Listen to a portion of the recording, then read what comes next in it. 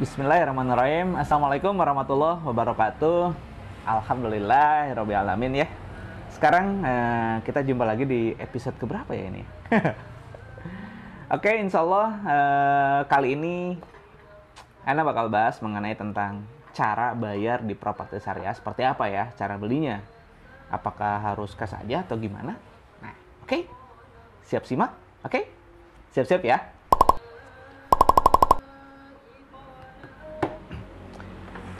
Alhamdulillah, alamin ya. Insya Allah uh, sesuai yang tadi udah diutarakan, Insya Allah Anda sekarang mau bahas tentang cara bayar atau cara pembeliannya seperti apa sih, akadnya seperti apa. Tapi bukan lebih ke akadnya, lebih ke cara bayarnya, ya.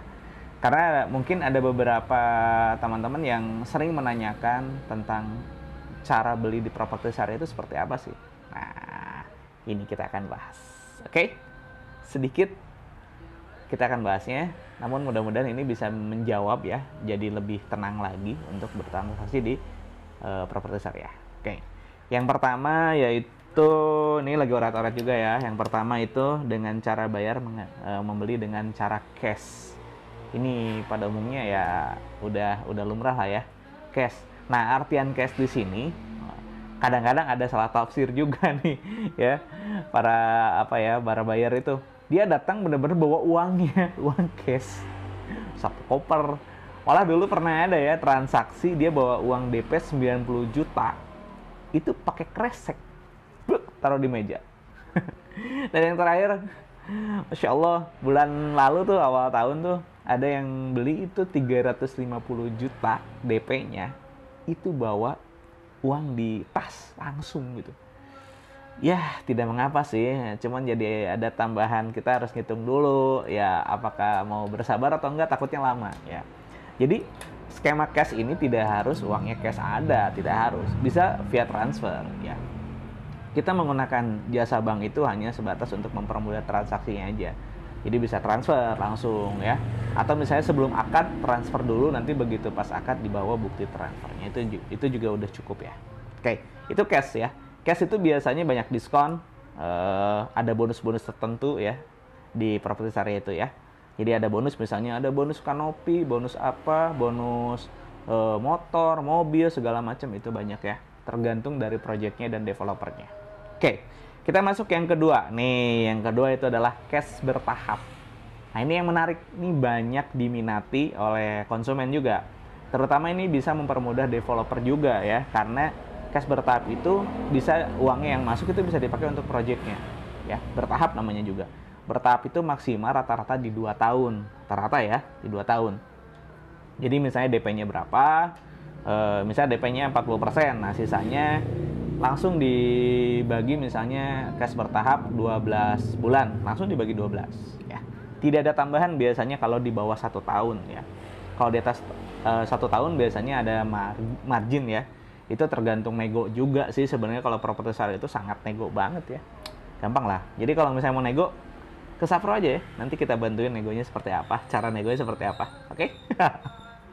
itu ya cash bertahap. Jadi setahun dua tahun maksimal ada juga eh, dia cash bertahap dari awalnya udah di flat. Misalnya harga rumah 500 juta ya. Dia dibayar uh, cash bertahap misalnya satu tahun 12 bulan. Itu langsung 500 juta dibagi 12 jadi nggak ada DP-nya jadi langsung aja cicilan selama 12 kali gitu ya. Seperti yang di Bukit Pinus tuh kemarin ada yang cash bertahap dia eh, minta 8 bulan cash bertahap total nilainya tuh di sekitar 2,4 itu langsung dibagi 2,4 dibagi 8 ya kurang lebih sekitar eh, 400 eh 300 juta ya. 300 juta per bulan flat kayak gitu. Itu bisa juga. Oke nah ini kita akan masuk ke yang ketiga. Tadi udah cash cash bertahap. Nah yang ketiga ini yang sangat menarik ya karena ini mempermudah. Namanya ini KPR syariah. Kenapa dikatakan KPR syariah? Awas hati-hati ya ada juga yang mengatakan KPR syariah tapi KPR syariah itu tetap ke bank ke bank syariah. Ya kurang recommended sih ya. Lebih enak tuh uh, nyicil langsung ke developernya. Karena dalam muamalahnya seperti itu dalam fikihnya juga kita kalau misalnya nyicil langsung ke yang punyanya gitu. Jangan ada perantara pihak ketiga gitu. Jadi KPR syariah itu beraneka ragam ya. Ada yang mulai dari lima tahun 10 tahun bahkan ada yang sampai 15 tahun tergantung proyeknya mungkin kalau lihat video sebelumnya uh, ada bocoran sedikit lah ya. Project mana aja yang ada KPR-nya panjang cukup panjang. Nah KPR syariah ini kadang-kadang menjadi pertanyaan kenapa sih harga harganya harga cash dan harga kredit berbeda? Nah ini kalau dijelasin di sini cukup panjang ya. Nanti kita insya Allah uh, Ana bakal bahas di apa ya di video khusus ya tentang kenapa sih harga cash sama harga kredit itu berbeda ya. Kenapa? Apakah boleh dalam fikihnya seperti itu? Ya. Oke. Jadi itu ya. Jadi untuk membeli properti syariah itu ada tiga cara belinya itu cash, cash bertahap, sama KPR syariah. Nah, KPR syariah ini sangat menarik ya. Ini butuh pembahasan terpisah. Oke. Kalau begitu uh, kita sudahi dulu video kali ini. Insya Allah uh, mudah-mudahan bisa bermanfaat, bisa apa ya, bisa mempermudah ketika teman-teman mau beli properti, membeli rumah, baik di rumah yang klaster ataupun di kawasan uh, perumahan syariah, perumahan Islam ya. Oke, kalau begitu kalau misalnya mau lebih lanjut lagi bisa datang ke sini ke kantor kita di Cigadung Raya Barat nomor 31 Bandung ya di Bandung atau bisa via telepon kalau lagi di luar kota telepon bisa ke admin kita di 0822 111 174 79 ya.